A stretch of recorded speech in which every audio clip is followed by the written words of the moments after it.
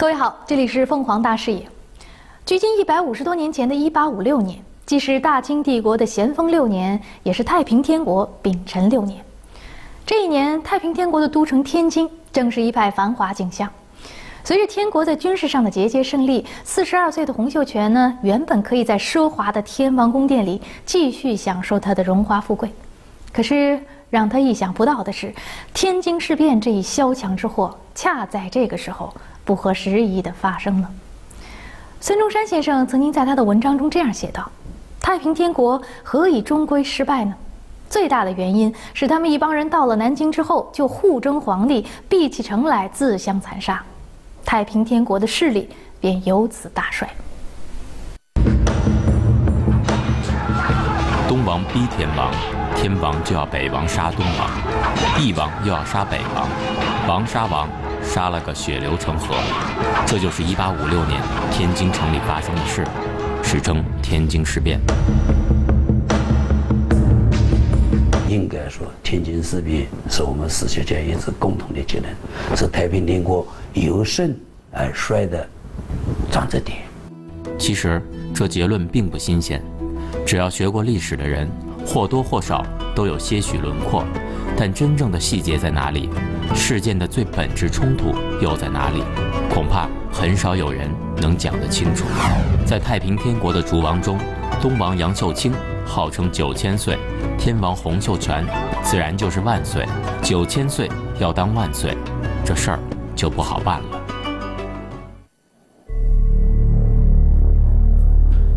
东王杨秀清。原本只是广西紫金山上的一名普通烧炭工，大字不识几个。自从跟了洪秀全起义后，他便一跃成为了太平天国一人之下、万人之上的九千岁。他是如何发家的呢？说来不可思议。这个拜占帝教创立以后呢，洪秀全来自于这个飞云上在广东传教失败失利以后呢，就深入到这个广西的山区进行传教。一八四七年的时候呢。这个王作新当地的一个地主头吧，就把佛云山给抓了，送到官府。佛云山被抓的时候呢，洪秀全在广州，没有在紫金山。拜占帝教虽然由洪秀全创立，但实际上是靠冯云山发展的。所以冯云山被抓来以后呢，当时可以说是拜占帝教是群龙无首，处于一片混乱。一八四七年的太平天国尚在襁褓之中，冯云山被抓，若干教众人心思动。就在此时，烧炭工杨秀清力挽狂澜，他挽救太平天国的方式是完全不可复制的，剑走偏锋，奇行险招。那时候在广西这个民间，特别在这个穷困农民中间，非常相信这个附身的说法，就是。死掉的人或者某一个先人会附在某一个人身上，这个人在他附身的时候，他就成了那个人了，就不是自己了。那么杨秀清就用这种群众中这种迷信的一种这个概念，所以他呢就忽然间附身了，天父耶和华附身了，附身以后呢，他这样就来传言传上帝的旨意，呃，用这个办法把会众团结起来。等小的们听着，朕派四子洪秀全下凡，带你们迎接小天堂。这个时候呢，那就那个三千多个那个分即将崩溃的、分崩离析的那些费众啊，三千多啊，哎，一下子马上大家就团结起来了。变形化的就这个大家都信仰这个饶秀清了。这这下子他给才能就这个就显出来了。当然，杨秀清干他，他是一个目不识丁的一个人，据说认识几个字，但是仍然是个文盲。但在这方面非常发达，他觉得我要是当了上帝，以上帝的名义下凡，那么洪秀全也得听我的。洪秀全说自己是天赋之子，杨秀清索性便说自己就是天赋本身。当洪秀全从广州回来时，木已成舟。非常时期要用非常手段，一朝是天赋，便终身是天赋。洪秀全哑口无言了。那么洪秀全也是在当时不得已的非常时期，不得已而才这种承认他们俩具有带天父天兄下凡传旨的这种特权。如果他不这样子做，他很难在权力真空之中很难对拜上帝教进行全面的掌控。这也是一种互相利用的、互相支持的一个过程。正是这种过程，最后形成了拜上帝教内部的二元体制。这种二元体制呢，也导致了后来发生内讧的埋下了伏笔。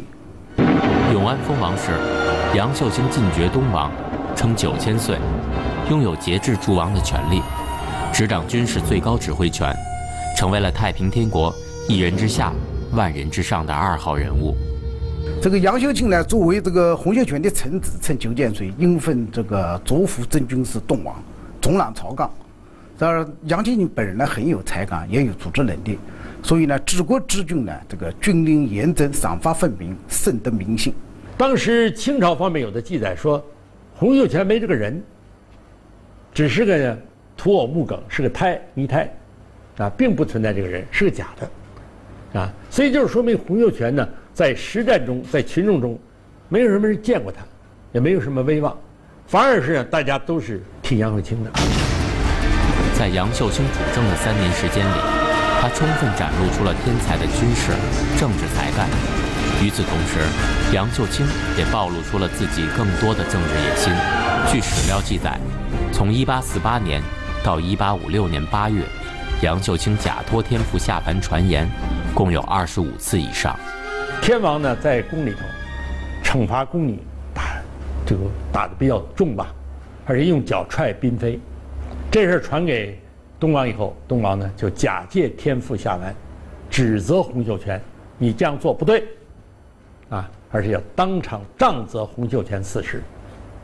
就是一国之主要要挨四十。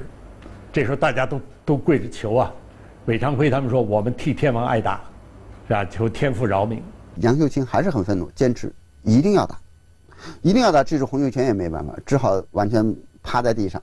负责就把屁股亮出来，那就准备打了，准备接受打了。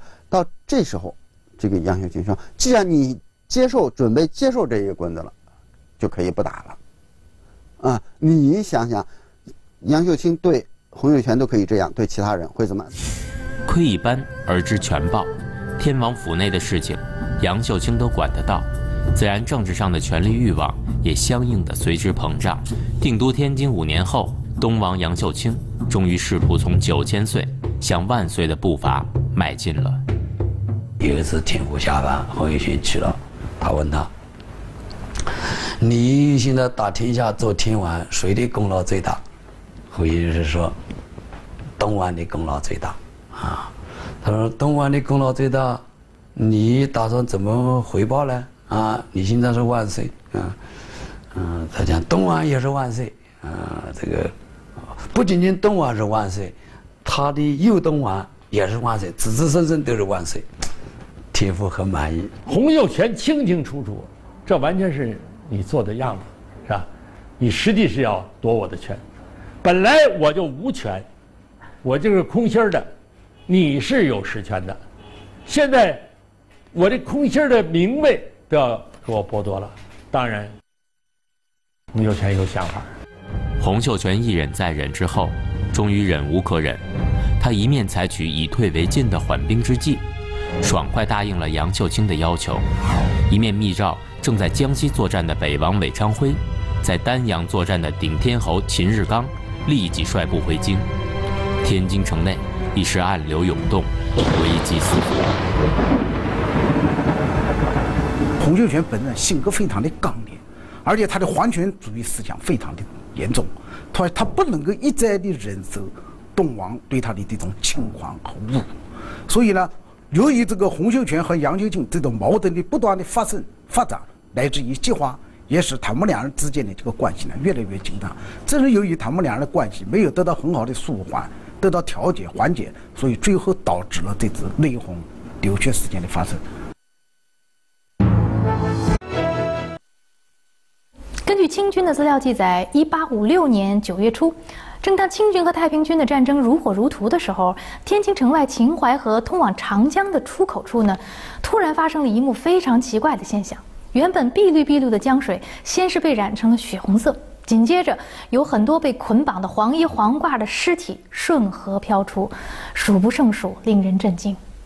江南大营中围攻天津的清军随后断定，太平天国一定是发生了内讧。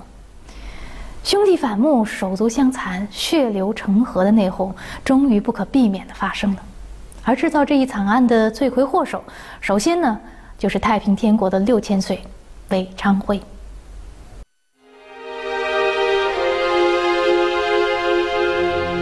韦昌辉出生于广西桂平县金田村。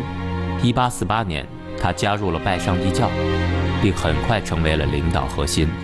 这个韦昌辉呢？在这个呃太平天国从今天起一直到这个定都天津，乃至于到内讧发生之前，在太平天国内部呢扮演了非常重要的一个角色，啊，他在定都天津以后呢，他一直这个出任这个相当长时间出任这个天津城防的这个总指挥的这么一个角色，另外呢又多次进行西征，屡建战功，啊，作战非常勇敢，也深得这个呃天王的这个。和杨秀清的这个这个赞赏。然而，韦昌辉的赫赫战功，在大权独揽的杨秀清看来，只不过是天国著名将领的诸多功绩之一。韦昌辉的六千岁，根本就不在杨秀清的眼里。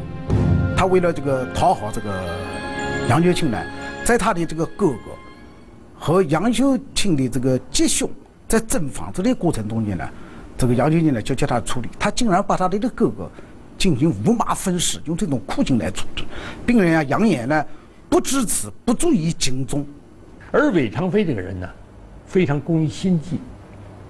他是真咬人的狗不露牙呀，他不说话，而且常常说：“哎呀，幸亏，呃，东王是吧？四兄教导，啊，呃，要不然我还我杜长盾，啊，杜长盾既不知也，就是我都不知道。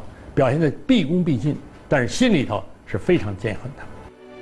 韦昌辉在忍受东王的压制和羞辱的同时，自然一直在盘算机会置杨秀清死命。终于，在一八五六年八月底，韦昌辉等来了洪秀全的密诏。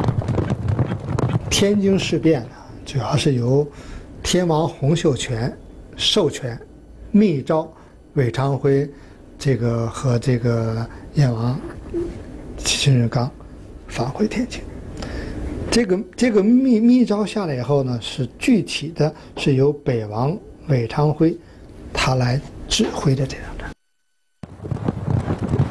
这个韦昌辉得到这个天王的密旨之后呢，率领三千人，乘着两百艘船，星夜赶往南京，赶往天津。呃，秦志刚呢，接到这个天王的密旨呢，也立马把前线的这个军务交给了陈玉成统下，星夜赶回天津，要清军撤。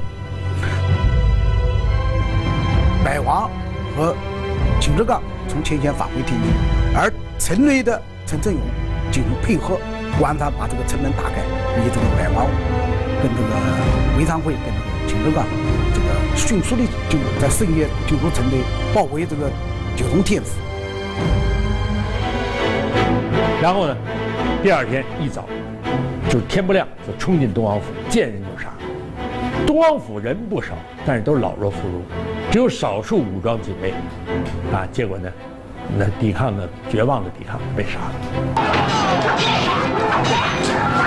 据有关资料记载，那么当时亲手杀杨秀清的是秦志刚，然后这个韦昌辉在第二天把杨秀清的头割下来以后，就称之为大剑，送给这个天王洪秀全这个看，然后呢也称之为动烈，这个。这个选手失踪，啊，进行了，然后进行了一系列的宣传。多年来始终对杨秀清隐忍不发的韦昌辉，一朝得势后，采取的是斩草除根的方式。洪秀全原本只让他杀东王一人，可杀红了眼的韦昌辉，不仅杀了杨秀清全家，甚至还杀了杨秀清的诸多部下，而这些部下多达两万余人。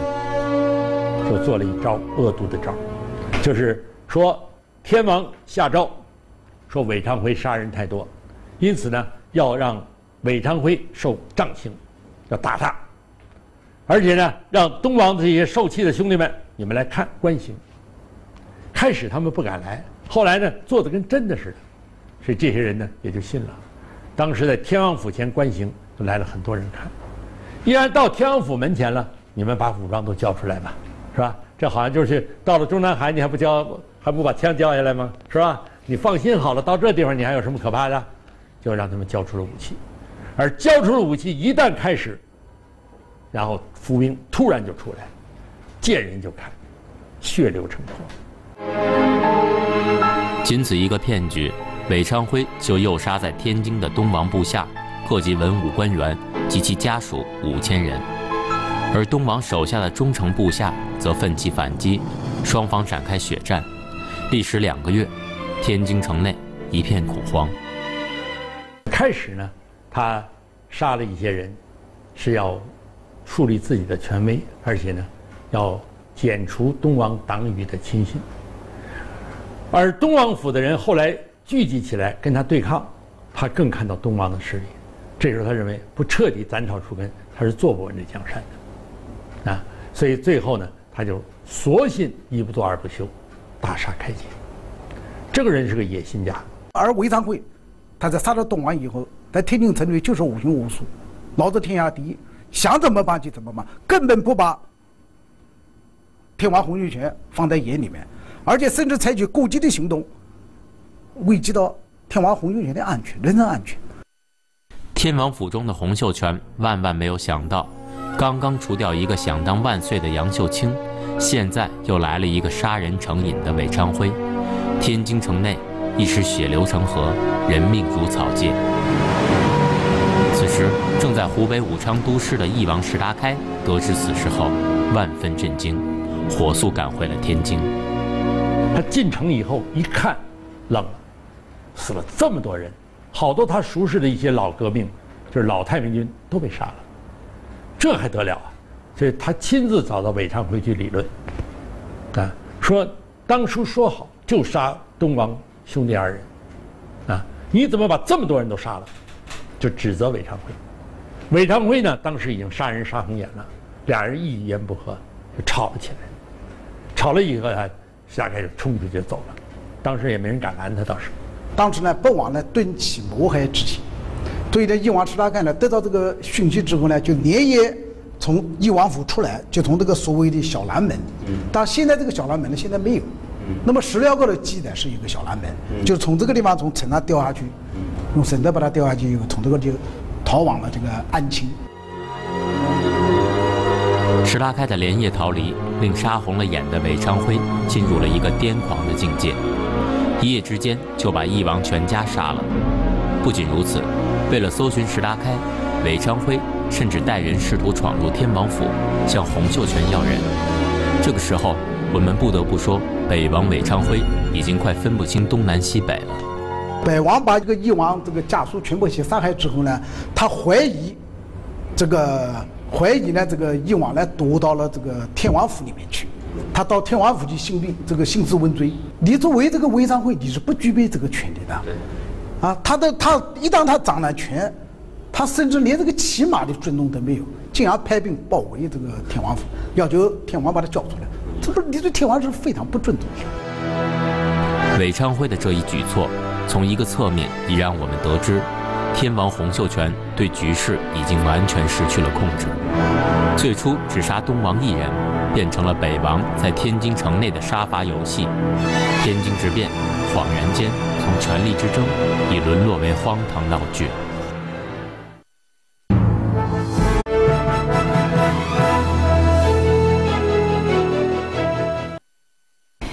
时年二十五岁的翼王石达开，自一八四七年加入太平军以来，和清军大小激战数百场，从未败绩。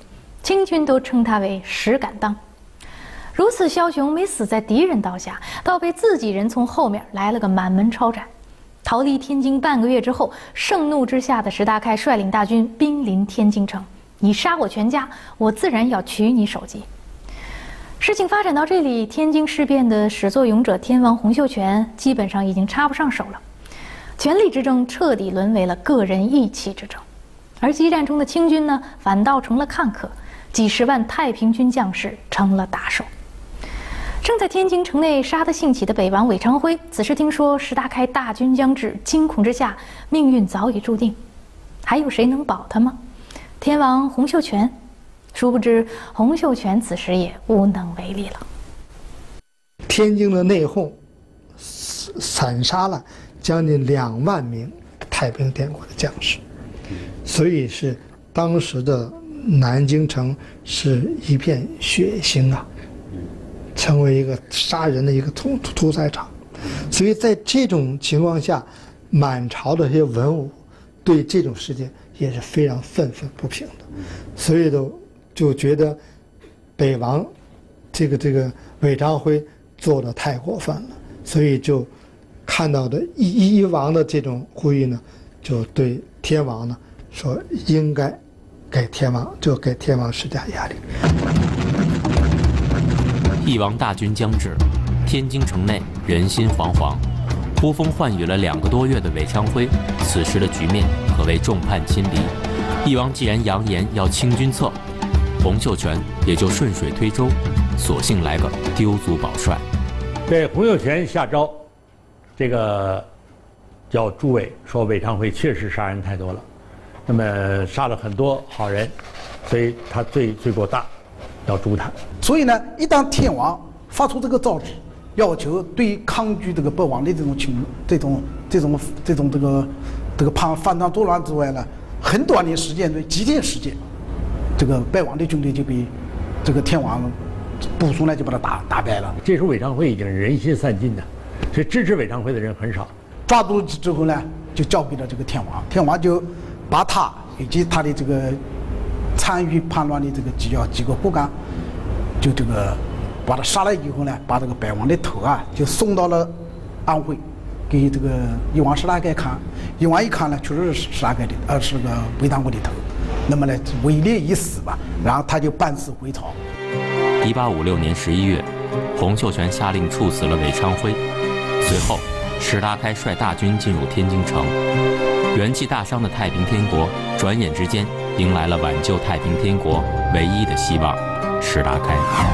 可备受惊吓的洪秀全已经不能再容忍这种希望了。石达开回来，回到天津主政，整个的这种，这种天津的这种何朝文武，都非常这种拥拥护石达开，因为石达开呢，这非常有他有能力，他在他，在治国安民各方面。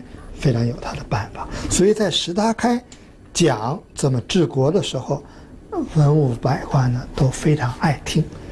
应该说，那个时候要是重整河山，是吧？那么洪秀全重用石达开，那太平帝国还有重新，呃，这个发展的机会。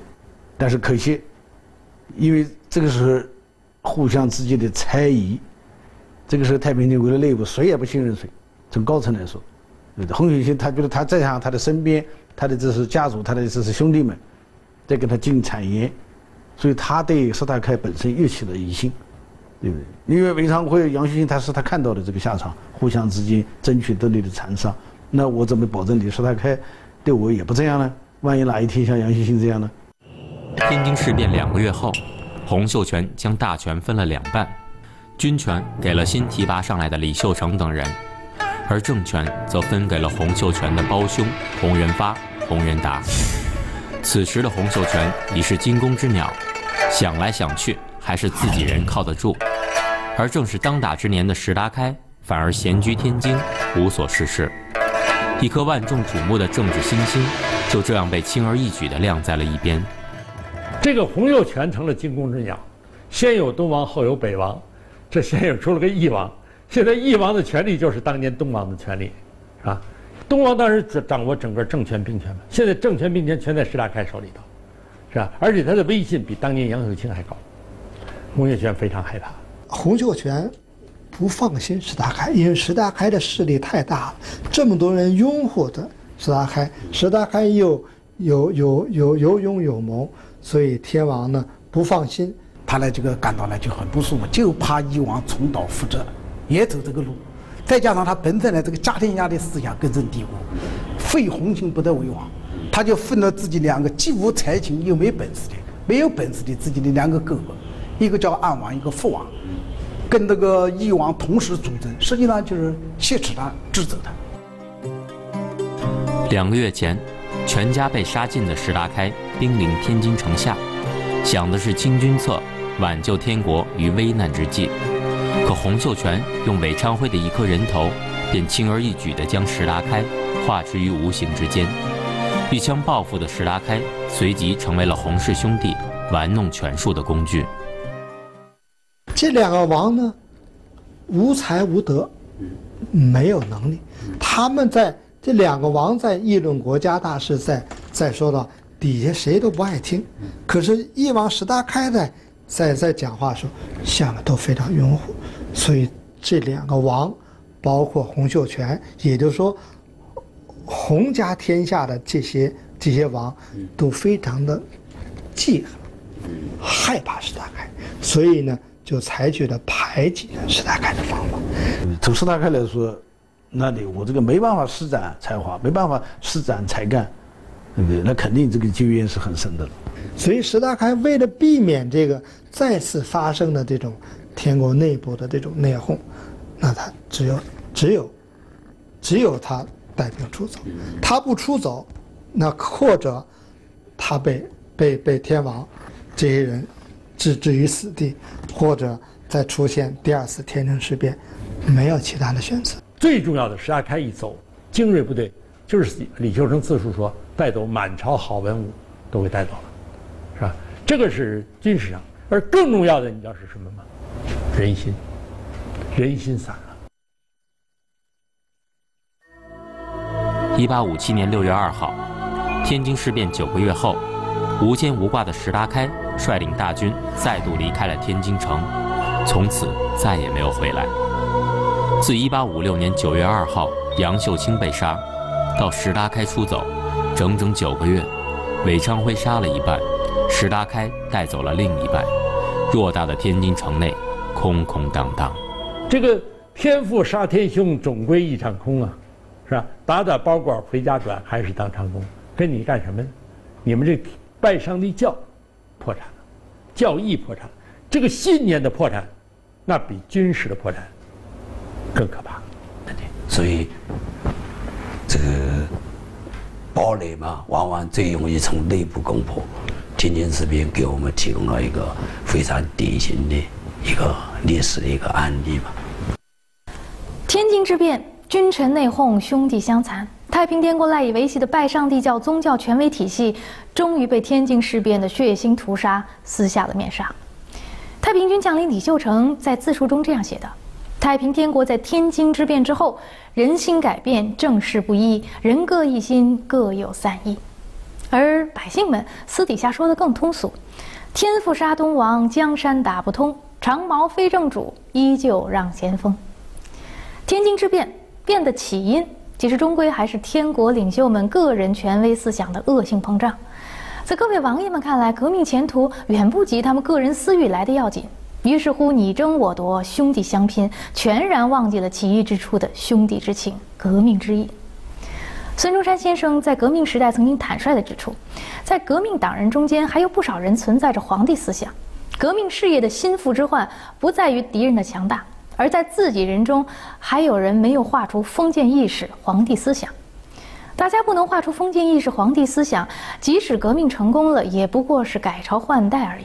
打倒了旧皇帝，又来个新皇帝，换汤不换药，什么社会的进步、国家的富强、人民的幸福，都是实现不了的。